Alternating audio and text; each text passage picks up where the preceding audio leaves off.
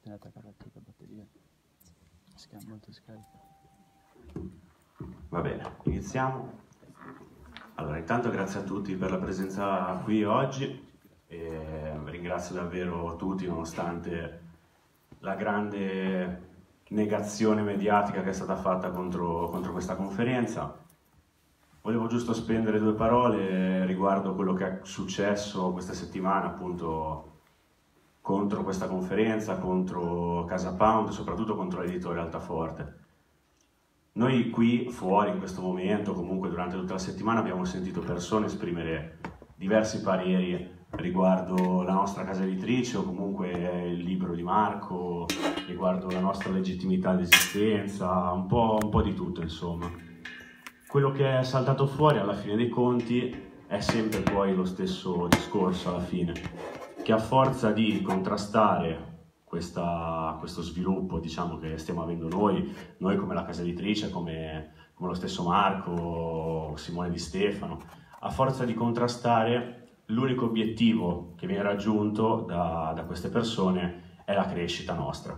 Quindi una pubblicità gratuita fatta a questa conferenza, una pubblicità che sinceramente a noi, sono sincero, ha fatto più che piacere e dico la verità, noi eravamo più che aperti e siamo tuttora più che aperti a un confronto libero e uguale su tutto, libero uguale, vabbè, libero più che altro. E, ehm, in merito al tema che viene trattato oggi, che non è né quello del fascismo né quello dell'antifascismo, ma è un tema molto importante che è l'Europa. Come sapete noi in questo momento siamo alle soglie ormai delle elezioni europee, quindi finalmente, perché se ci state facendo caso, quasi nessuno ormai sta trattando il tema delle europee come se fosse un'elezione marginale, una parte minima di, di, un, so, di un processo legislativo, di un processo eh, di personalità parlamentari inutile e semplicemente fuori luogo.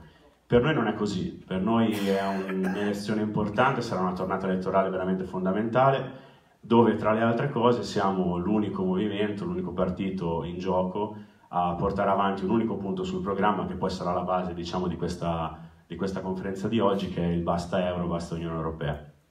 Probabilmente probabilmente questo punto in programma è quello che più dà fastidio a chi in questi, in questi mesi o in questi giorni, per quello che riguarda la conferenza, ci ha contrastato e ci ha, ci ha criticato, insieme poi a tanti altri, ma sicuramente questo è un punto molto, un tasto dolente diciamo, per, per i contestatori.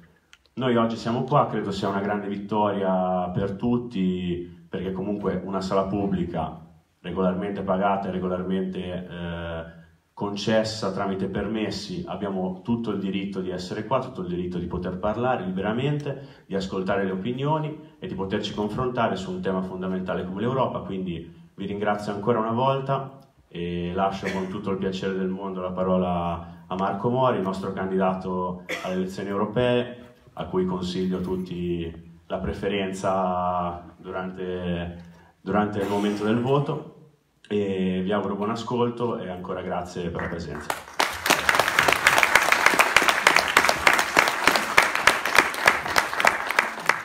Mi associo nei ringraziamenti a chi oggi è venuto qui, malgrado il clima non certo simpatico. Eh, sicuramente è vero che questo clima ci fa pubblicità, quindi da un lato la cosa non può che farci piacere, dall'altro è amaro notare come comunque sia oggi più che mai trionfi il divide et impera. Perché poi in definitiva, probabilmente prese singolarmente con alcune di quelle persone che sono là fuori, si potrebbe ragionare sui temi a noi cari.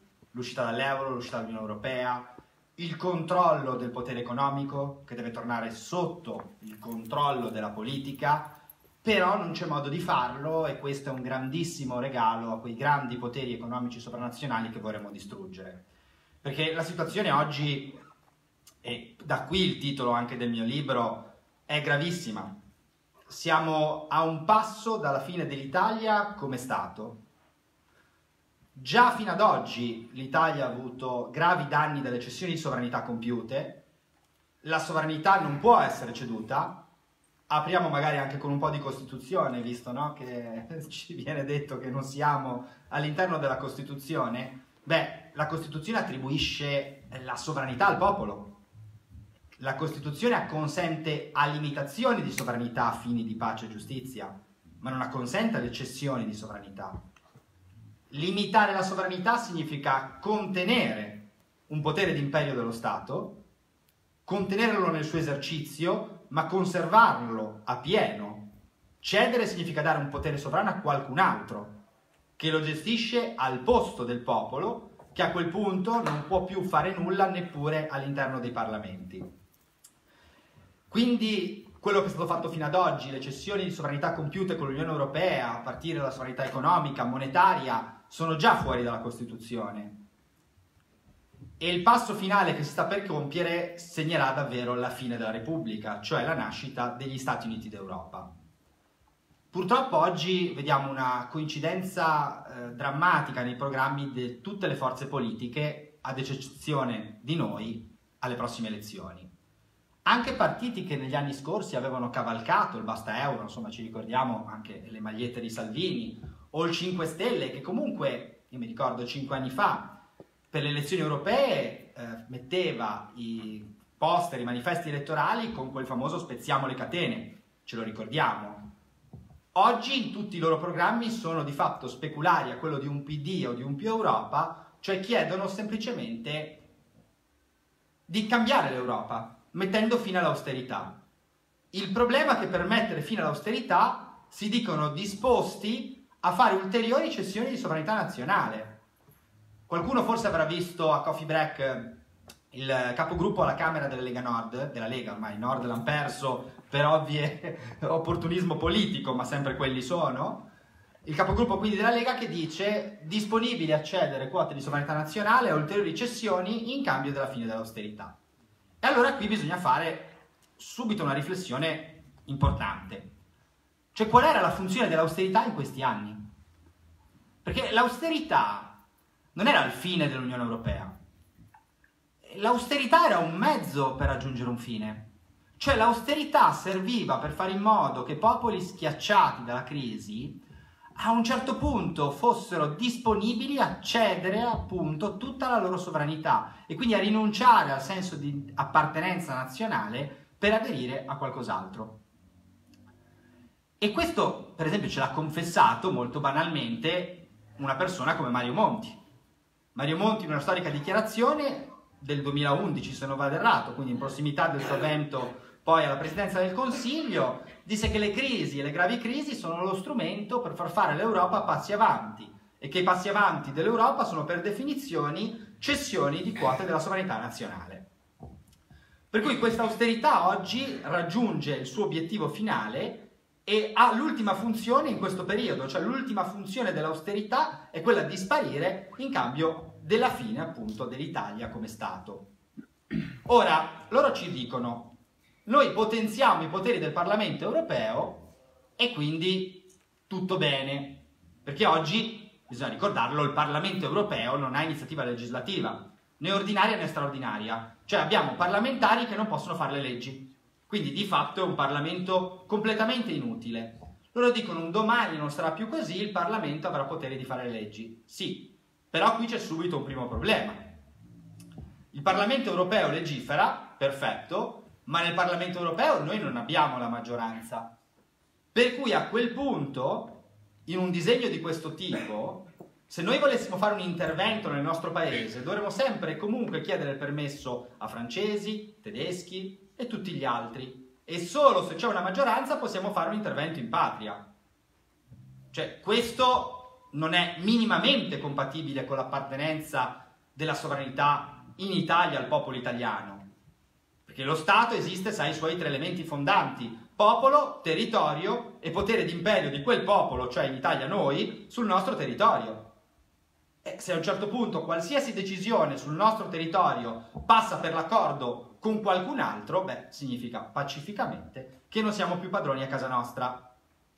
E questo è eversivo, è giuridicamente eversivo. Soltanto l'articolo 139 è chiarissimo, il 139 della Costituzione, la forma repubblicana è definitiva, no? La forma repubblicana non può essere oggetto di revisione costituzionale, quindi non posso fare gli stati federali d'Europa.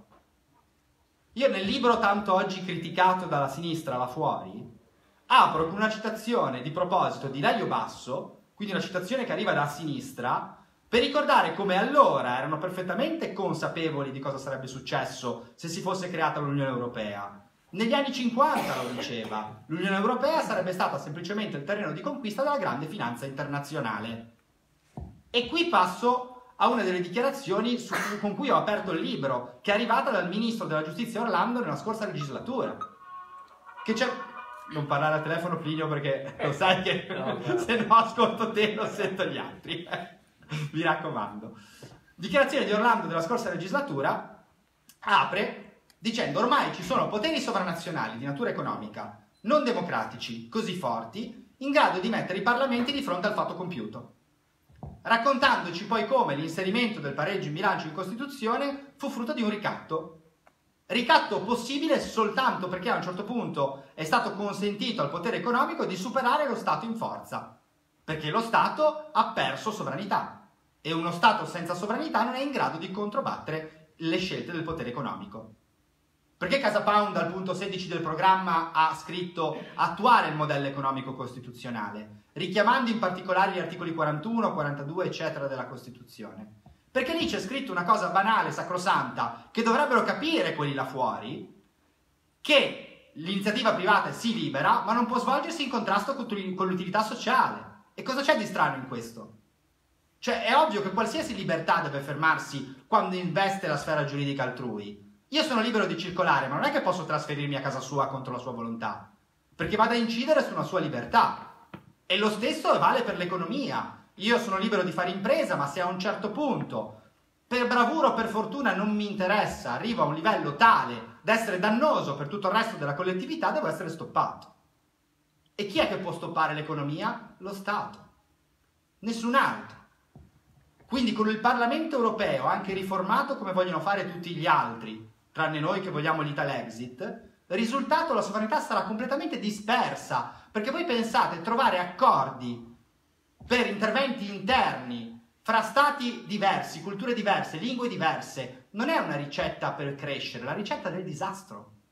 La storia ce lo insegna, abbiamo provato tante volte eh, esempi in cui le unioni tra stati sono state forzate. Una che è finita da non tanto, ce la ricordiamo molto vicina dall'altra parte dell'Adriatico, la ex Jugoslavia.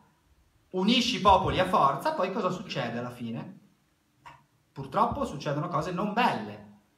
Quindi l'idea è pensare che popoli diversi, dove non c'è neppure una lingua comune, possano decidere disinteressatamente e nel bene di ogni singola nazione è assurdo.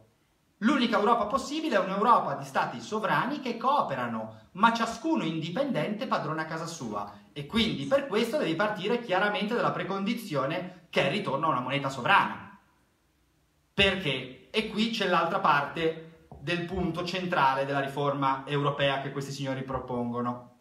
Ci dicono sì, la banca centrale cambierà la sua funzione, cioè diventerà una prestatrice illimitata di ultima istanza, che vuol dire oggi i trattati europei hanno imposto una banca centrale che ha il divieto espresso di finanziare la spesa pubblica degli stati. Non può farlo. La banca centrale finanzia semplicemente i gruppi del potere economico, banche, eccetera, eccetera. La banca centrale, come chiaramente sapete, non è che la moneta la recupera, non so, scavando per terra, la crea letteralmente dal nulla. Quindi la banca centrale è quell'istituzione che crea una moneta, questa banca centrale però non serve agli interessi dei nostri paesi perché ha il divieto di finanziare la spesa. Allora per invogliarci ad accettare gli Stati Uniti d'Europa ci dicono cambiamo le regole della banca centrale, la facciamo diventare una prestatrice illimitata di ultima istanza. Cioè testualmente dalla proposta del 14 maggio recentissima il Parlamento italiano ha votato, Lega e 5 Stelle hanno dato mandato al governo di discutere esattamente questo progetto impegnandolo affinché chieda la riforma della banca centrale come prestatrice illimitata. E qui diciamo, beh, bello, insomma, la banca centrale che a questo punto ci può dare i soldi per la spesa. Ma uno abbiamo il problema che vi dicevo prima, cioè a quel punto sì, mi può dare i soldi, ma io devo mettermi d'accordo con tutti gli altri, se no questi soldi non ce li ho. Quindi se devo intervenire ad esempio per un piano casa in Italia, se non mi dicono di sì i tedeschi, io comunque non lo faccio. Due, c'è un altro aspetto ancora più grave che non viene minimamente menzionato.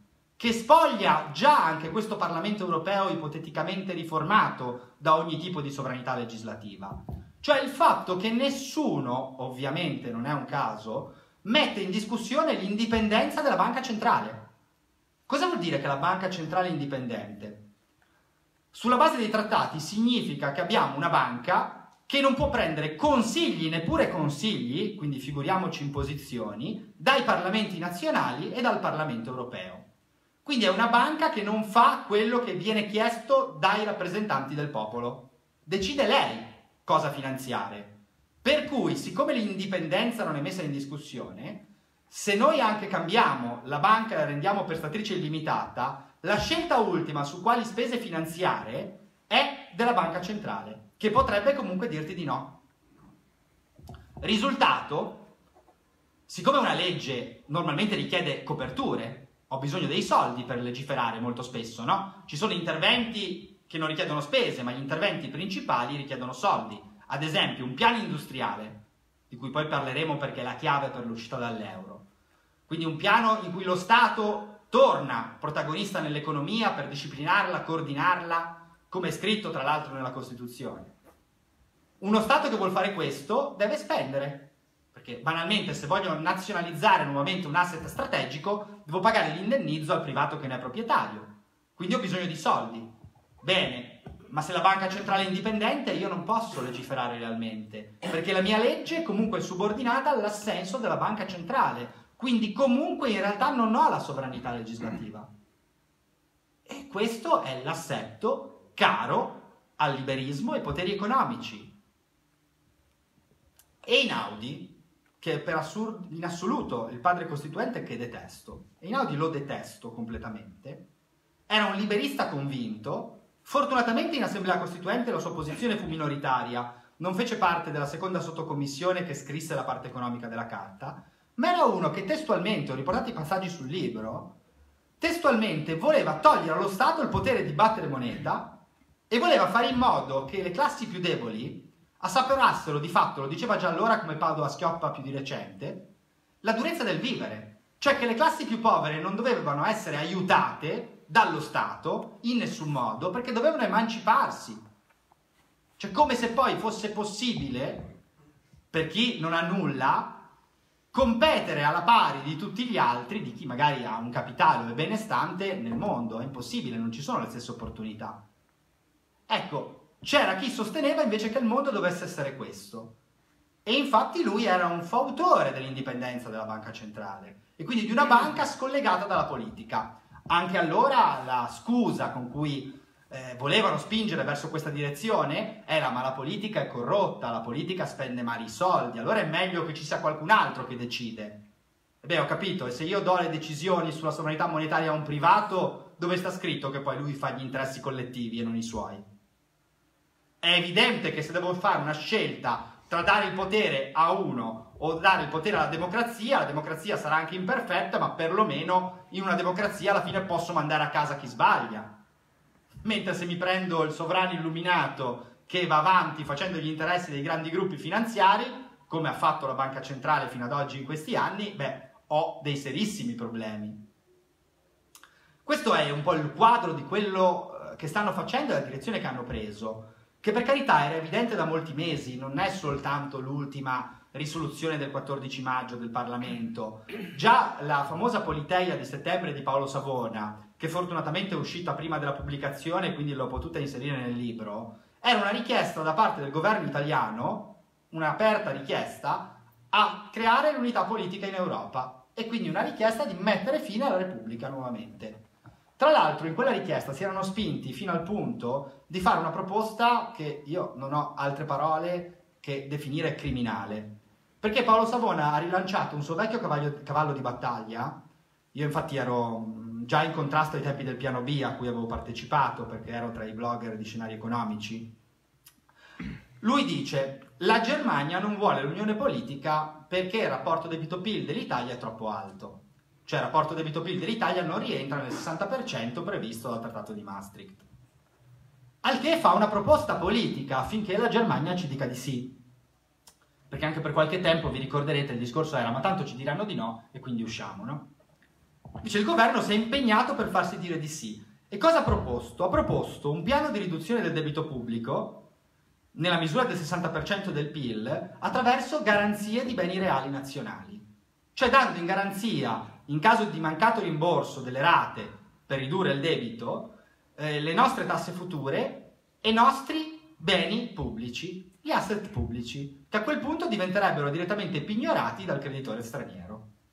Questa è la proposta l'ha fatto il governo di centrodestra di centrodestra, scusate, di destra e 5 Stelle, quindi diciamo dei due serbatoi di disattivazione del dissenso, una a destra e una a sinistra.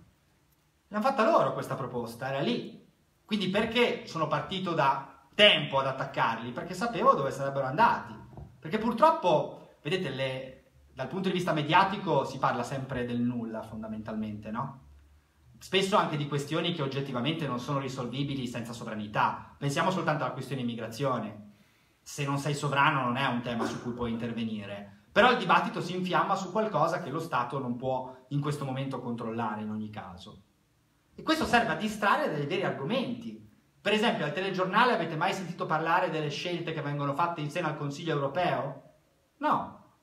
Eppure l'unico organo demandato alla modifica dei trattati è il Consiglio europeo. Il Parlamento, ve l'ho detto, non ha iniziativa legislativa. Il Consiglio europeo sì ed è la riunione dei capi di Stato dell'Unione. In quella sede all'unanimità si possono modificare i trattati e riunioni ce ne sono di continuo, la prossima importante sarà in autunno dopo le elezioni, l'ultima importante è stata nel maggio scorso e dove all'unanimità hanno approvato un documento, quindi Conte pure, ha approvato un documento che dà l'ok al Fondo Monetario Europeo, dà ok al rafforzamento dell'unione bancaria, dà ok comunque al progetto di unione politica. Quindi è sempre lì. Cioè quello che dobbiamo fare poi in definitiva anche negli ultimi giorni di campagna elettorale è far capire questo alle persone. Cioè fargli capire che tutti gli altri hanno lo stesso programma. Programma, attenzione, che non solo è fuori dalla Costituzione, a rigor di logica sarebbe ancora punito penalmente. Nel 2006 fu proprio su spinta Lega che venne modificato il codice penale nella rubrica dei delitti contro la personalità giuridica dello Stato. Che tipo di reati erano?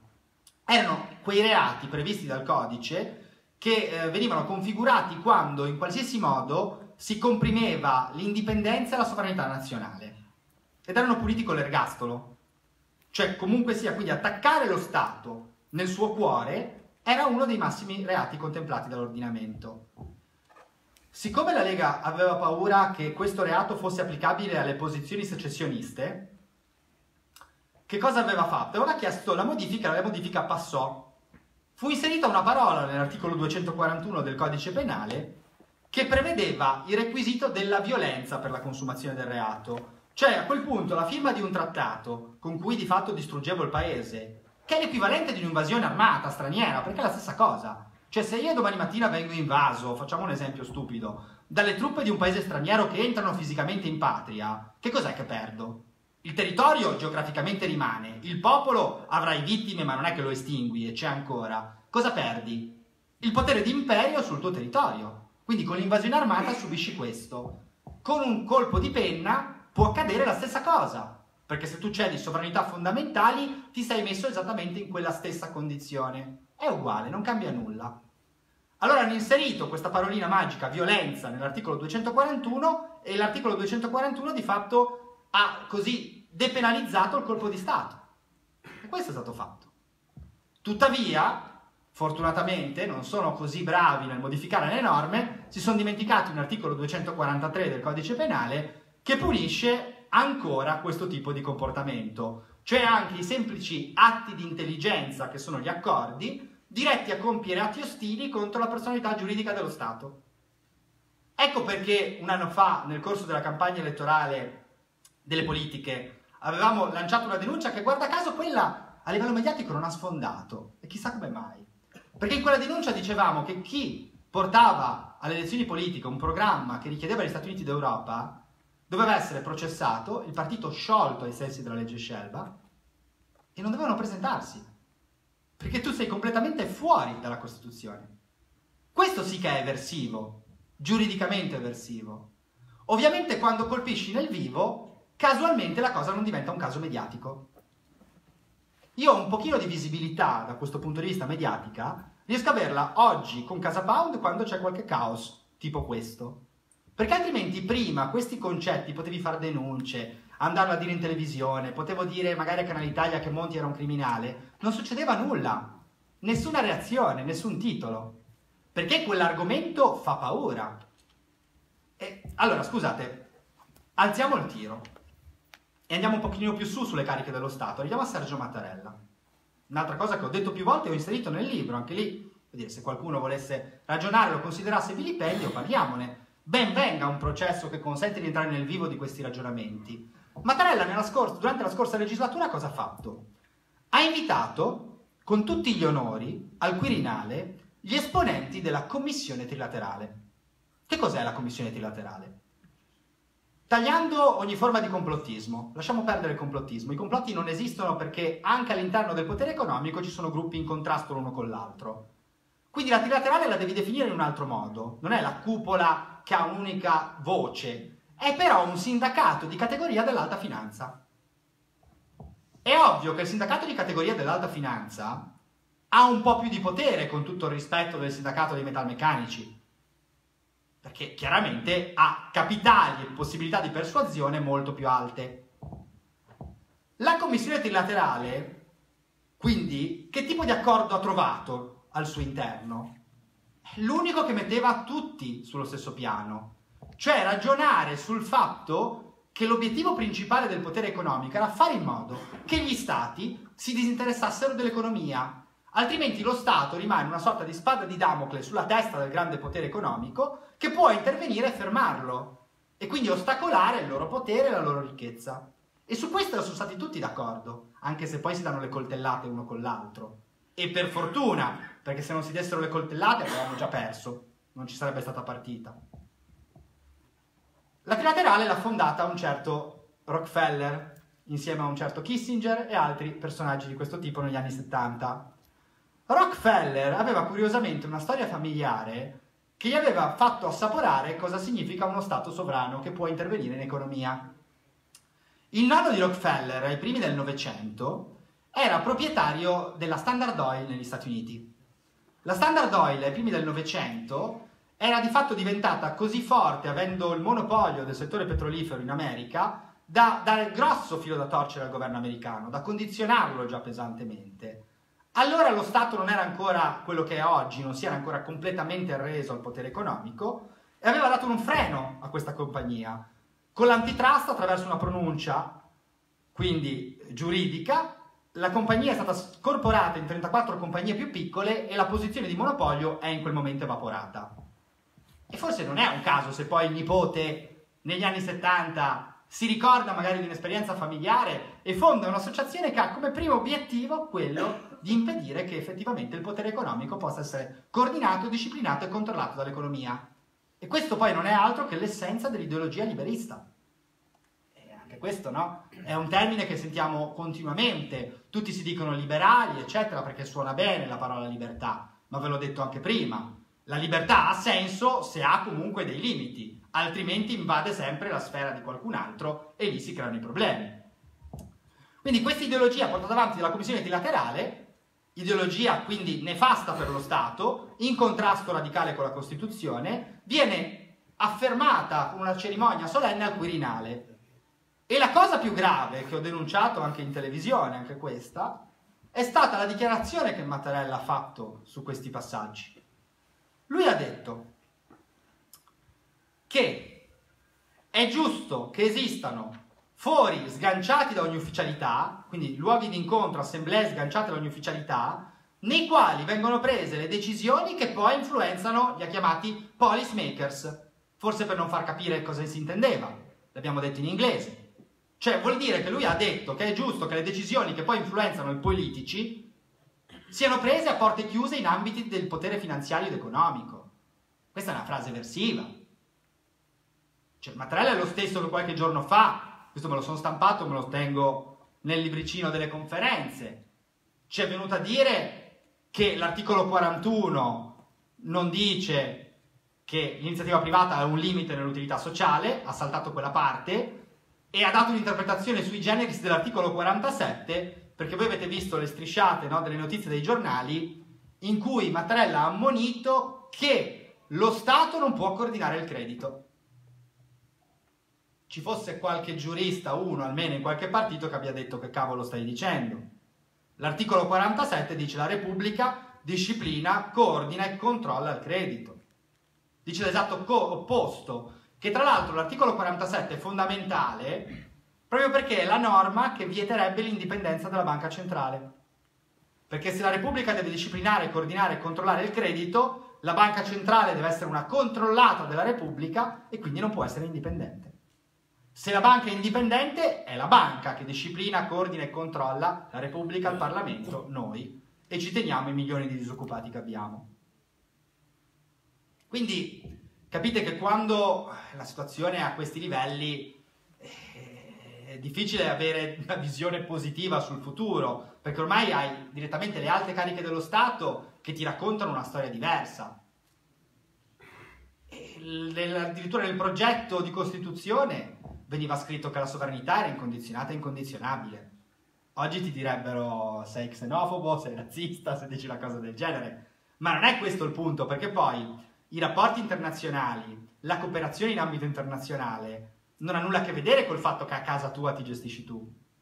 Cioè il discorso delle limitazioni, torniamo a questo ragionamento, viene in gioco quando gli effetti di una tua decisione sovrana travalicano i confini dello Stato. Cioè banalmente, faccio l'esempio stupido, pensiamo a un trattato che eh, riguarda l'aspetto ambientale, quindi facciamo un trattato con gli altri paesi europei in cui ci impegniamo a ridurre le emissioni inquinanti. È perfettamente valido, è una limitazione di sovranità, però il piano industriale in quel caso continua a farmelo io. Devo rispettare delle regole, ma non do la sovranità a qualcun altro. Ecco, questo è il concetto. Non erano rapporti internazionali basati su tutt'altro, come sono quelli di oggi. Qual è la soluzione quindi a questa situazione? Cerchiamo di portarla avanti perché noi ce l'abbiamo chiara. Ovviamente per poterla attuare hai bisogno del consenso, quindi devi spiegare alla gente soprattutto cos'è l'euro e cos'è l'Unione Europea. Oggi i partiti che dicono e sostengono, affermano di avere una strategia, di tutto parlano tranne di cos'è l'Unione Europea. Cioè, avete mai sentito Di Maio andare in televisione a dire che l'Unione Europea è un crimine? No, a me a quattro occhi però me l'ha detto. Ma se non lo dici in televisione, gli italiani cosa ne sanno? Cioè qui abbiamo gente che fa fatica ad arrivare a fine mese, non ha tempo di prendersi i trattati europei come posso aver fatto io e studiarseli. Eh, non funziona così, molta gente le cose non le sa, quindi per arrivare al consenso, per poter uscire, devi informare le persone. Quella sarebbe la prima parte della strategia. Non c'è, non c'è, anzi, la fanno passare per positiva l'Unione Europea e vanno avanti verso questa direzione. Quindi questa parte assolutamente manca. Prendere il consenso quindi è fondamentale sui temi giusti, dopodiché la precondizione per ogni provvedimento difensivo del paese è il ritorno alla moneta sovrana. Quindi la prima cosa da fare è il ritorno alla lira. Dopodiché poi inizi tutto un percorso che vedrà lo Stato intervenire in economia e quindi il piano industriale per il mondo reale, perché il virtuale è banale. Cioè io torno alla mia moneta, la mia moneta ovviamente la creo nelle quantità che voglio, quindi ho piena sovranità legislativa, ho piena sovranità sul territorio, faccio quello che mi pare però poi devo saperlo fare in concreto quello che mi pare. Nel senso che potenzialmente lo posso fare, ma poi devo anche sapere come usare la mia sovranità. E allora il punto qual è? E anche qui torniamo a un tema di interesse proprio per la trilaterale.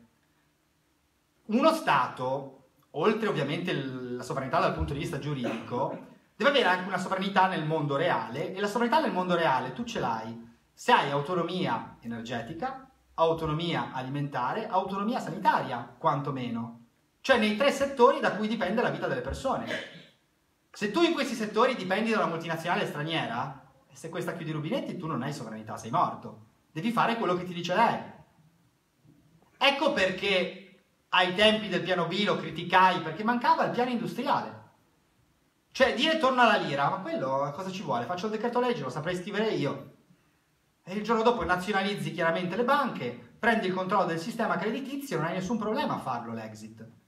Però poi, se, se vi siete fatti un giretto magari a Trieste, avete visto no? Le, l'elettrodotto che arriva dalla Slovenia, dalle centrali nucleari che ci portano l'energia. Se dicono il giorno dopo, visto che è Unione Europea, noi vi chiudiamo i rubinetti, che cosa succede?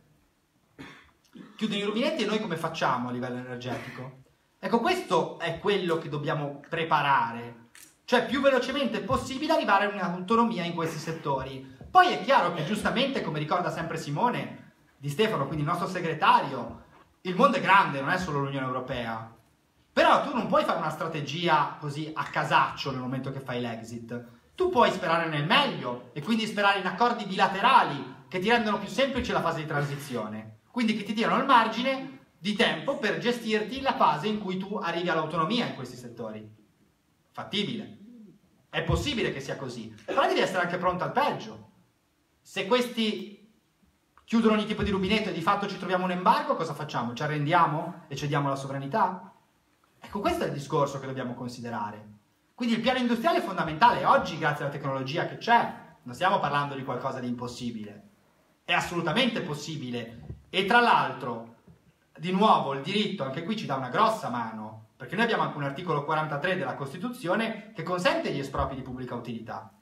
Quindi laddove, ad esempio, ho un un gruppo, un'azienda che mi serve di qualcosa di indispensabile per me sul mio territorio, che nel momento dell'exit volesse remarmi contro e quindi di fatto chiudere, andarsene, non darmi più i prodotti che prima costruiva, beh, io posso nazionalizzare.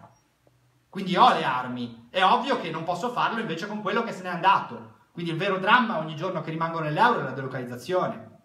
Perché quando io perdo un'industria, poi ricostruirla in patria non è banale ho bisogno di qualcuno che soprattutto lo sappia fare. Quindi paradossalmente anche lì dov'è la strategia di un governo che dice attendo per l'uscita?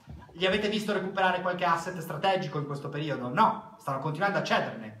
L'ultima assurda, abbiamo visto un Gentiloni che con il MEF è entrato nelle quote di MPS, prendendone la maggioranza. Quindi paradossalmente avremo di fatto una banca pubblica con cui difenderci dallo spread. Questo lo consentono anche i trattati. Il governo cosa fa? Decide di dismettere queste quote.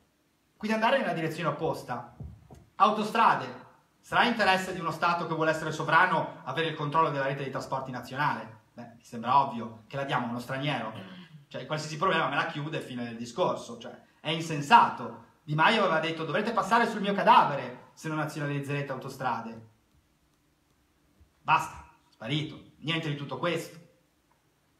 Quindi non ci sono provvedimenti concreti neanche da questo punto di vista, perché anche qui, anche volendo rispettare i parametri europei, quindi nell'incubo del contabile europeo io non posso fare deficit e allora come faccio a nazionalizzare se non ho soldi? Attenzione, se io davvero voglio uscire e avessi in mente di uscire, piuttosto taglio qualcos'altro, ma i soldi per recuperare un asset strategico per l'uscita li uso.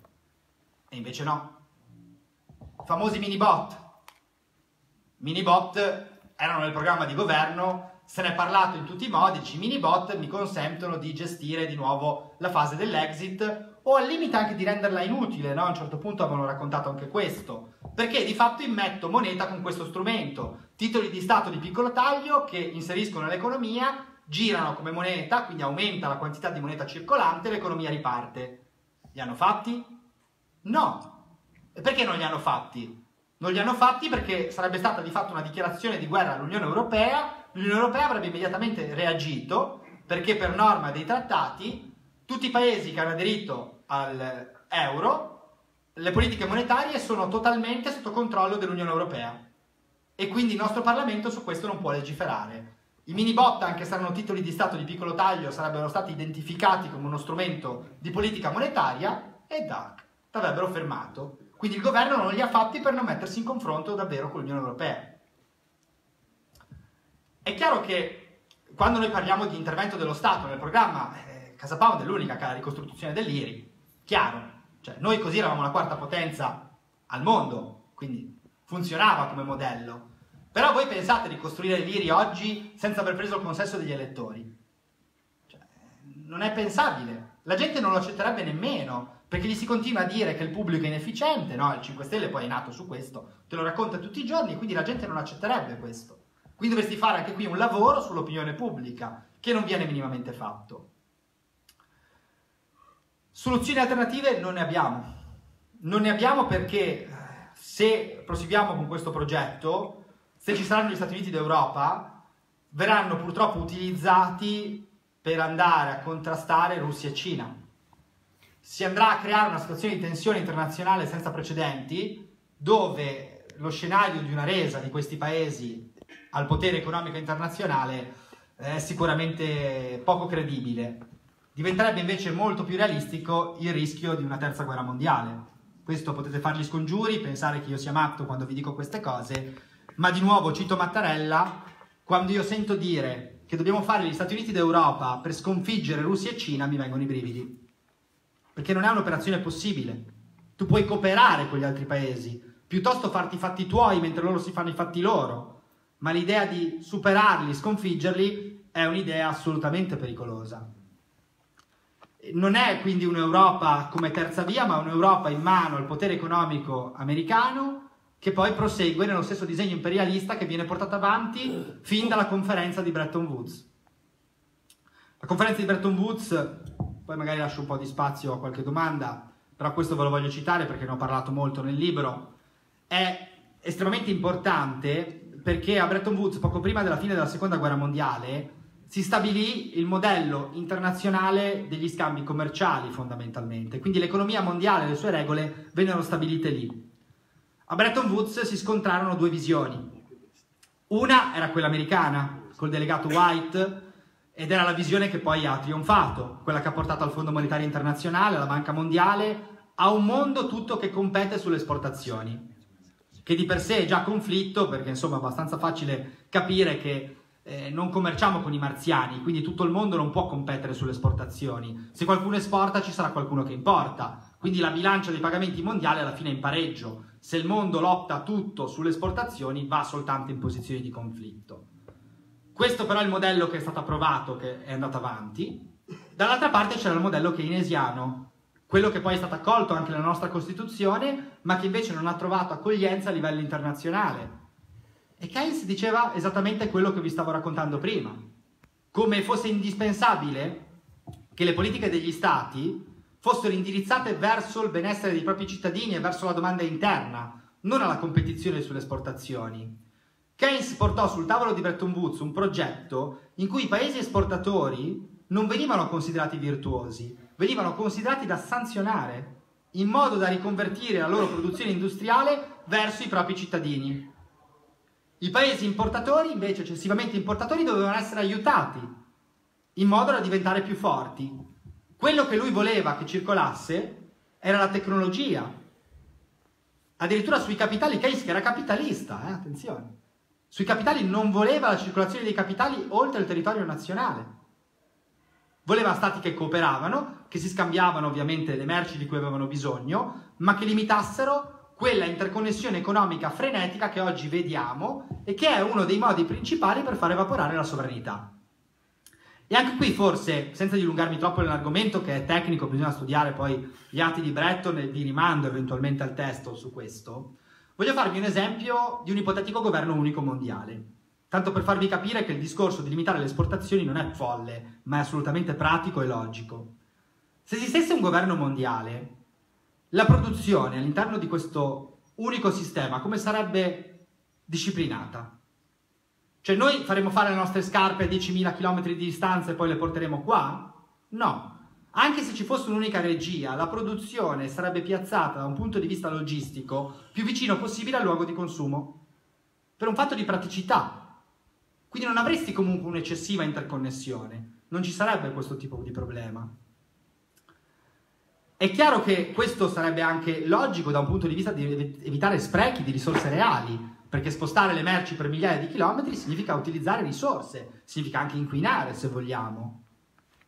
Quindi in un'unica regia, in caso di un'unica regia, più o meno, più o meno la produzione sarebbe collocata in quella logica che sono oggi i confini nazionali degli stati, che non sono righe tirate a caso in una cartina, ma spesso sono eh, fatti anche in funzione della geografia, degli aspetti appunto pratici del territorio.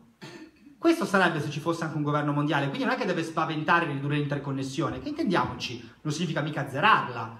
Certo, nei settori da cui dipende l'indipendenza, l'autarchia potenziale la devi avere. Cioè, appunto, energia, alimenti e sanità, io lì devo essere in grado che se qualcuno domani mattina mi chiude i rubinetti di andare avanti da solo, perché altrimenti perdo letteralmente sovranità, ma è soltanto limitato a questo tipo di discorso. Non è che significa chiudersi, intendiamola nel senso keynesiano, però significa controllare ed evitare che possano nascere comunque gruppi sovranazionali. E di nuovo, se per esigenza produttiva fosse necessario un gruppo eh, sovranazionale, cosa dovrebbe essere fatto? Quel gruppo dovrebbe essere in mano, pro quota, ai singoli stati, non a un privato. Dovrebbe essere delle nazioni, in modo che sia subordinato all'interesse collettivo, mentre l'iniziativa privata avrebbe invece campo libero in tutto il restante 99% delle attività umane.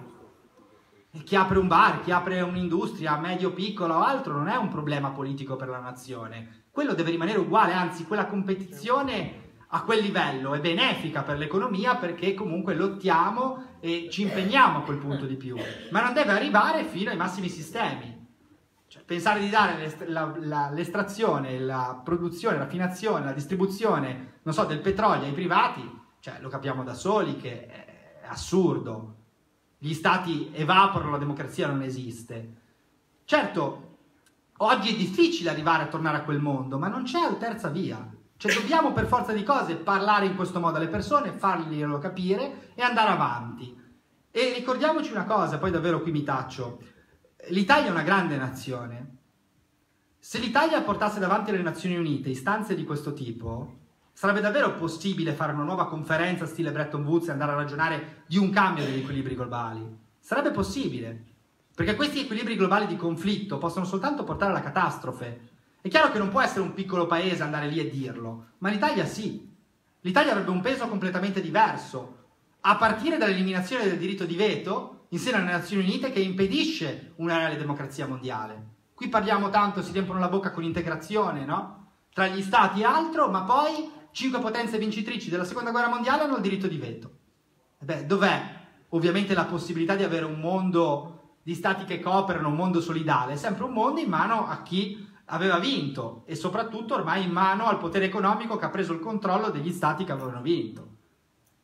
Questo è l'unico disegno visionario che dobbiamo portare avanti, un passo alla volta, con coraggio, raccontando cose alle persone assolutamente controintuitive oggi, ma che fino a pochi anni fa erano la macroeconomia, perché fino a prova contraria Keynes, che vi ho citato, è il padre della macroeconomia.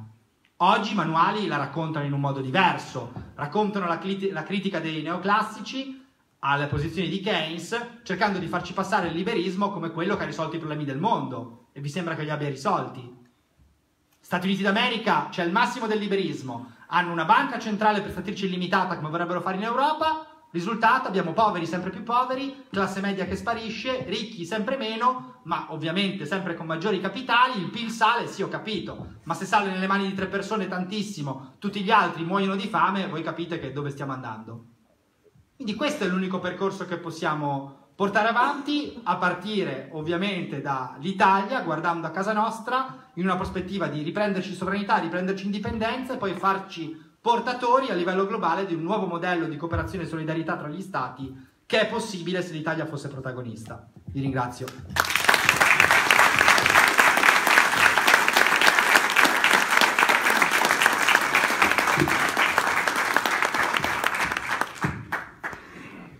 Grazie mille Marco, è sempre stato come sempre chiarissimo su argomenti che spesso non sono, non sono semplici da affrontare.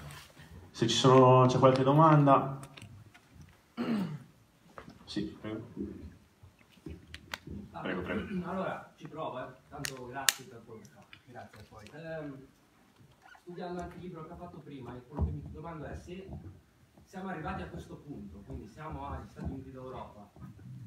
E io sono d'accordo, la nostra Costituzione è fantastica e c'è tutto, ma quindi non ha in sé, se sono riusciti a fare questo nonostante la Costituzione, non ha dei limiti di strumentazione difensivi che io, per esempio, penso si ritrovino nel modello svizzero della democrazia diretta. Cioè fino a che non saremo noi davvero sempre a scegliere e delegheremo ai rappresentanti, questi avranno sempre la possibilità di fare. D'altronde è successo, nonostante ci sia la Costituzione. È forte, ottimo, tutto un po'.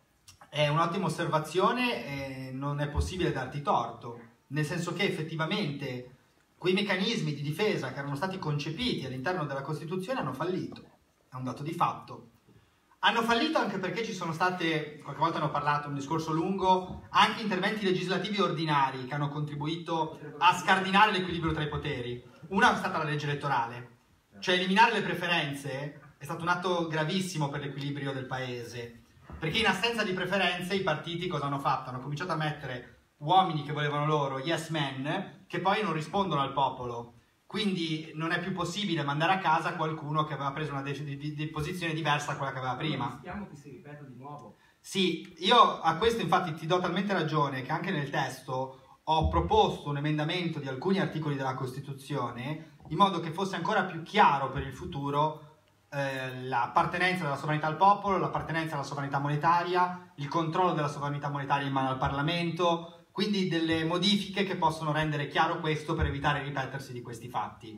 D'altronde con legge ordinaria avevano addirittura eh, cambiato il codice penale perché parliamoci chiaro, se il 241 fosse rimasto quello di una volta, dal punto di vista penale si sfondava. Eh? Un magistrato si sarebbe mosso. Si muovono poco anche perché se hanno tutti contro, vedete Ruggera Trani, l'hanno trattato come fosse un imbecille e invece ha fatto un processo eccezionale, un lavoro che ha smascherato davvero queste interconnessioni tra politica, finanza, Standard Poor's, non ne ha parlato praticamente nessuno, l'hanno soltanto insultato, il MEF non si è costituito neppure parte civile, il Ministero quindi dell'Economia e Finanza non si è costituito parte civile, l'ha isolato. Un piccolissimo successo l'avevo avuto anch'io in una delle denunce fatte sul Tribunale di Cassino, dove il GIP, pur archiviando, aveva riconosciuto che la cessione di sovranità è reato. Il problema è comunque sempre quella riforma maledetta del 2006 che ha reso tutto più difficile. Quindi per forza di cose dobbiamo intervenire sicuramente in questo senso sulla Costituzione con alcune modifiche migliorative, eh? non sono modifiche ovviamente che la stravolgono, però è una chiarificazione di alcuni passaggi. Ad esempio sull'articolo 47 ci va aggiunto espressamente che la sovranità monetaria deve appartenere ovviamente allo Stato, al popolo, al controllo del Parlamento, va indicato. È chiaro che comunque sia, nonostante tutto, ancora oggi sarebbe possibile avere un Ital exit per intervento della Corte Costituzionale. Tanto la causa, l'unica in Italia, ce l'ho io in Corte d'Appello a Genova, è ancora lì e ci si prova fino alla fine, assolutamente. Il problema è che rispetto a quando sono partito, ormai parecchi anni fa, perché purtroppo i tempi della giustizia sono questi, la situazione è notevolmente peggiorata perché proprio la distorsione dovuta alle leggi elettorali ha fatto sì che in Corte Costituzionale entrassero sempre più politici. Cioè Amato non dovrebbe essere giudice della Corte Costituzionale. Nella scorsa legislatura una delle massime battaglie che c'è stata è stata proprio sui giudici della Corte Costituzionale, che tutto sommato tra partiti siamo in Parlamento, dobbiamo mettere i migliori giuristi, non dovrebbe esserci questo grande dibattito per eleggerli. Quando ci metti oltre 20 votazioni, eh, allora stai facendo politica. Poi vai a vedere il curriculum di chi hai eletto, e penso a Barberà e Prosperetti, guarda caso hanno mandato in corte due giudici che saranno detti palesemente favorevoli al pareggio in bilancio in Costituzione, che invece disattiva completamente tutta la parte prima. Quindi il pareggio in bilancio in Costituzione è un abominio. Eppure hanno messo in corte giudici favorevoli a questo. Per cui stanno letteralmente disattivando, smantellando lo Stato giorno dopo giorno. Altre?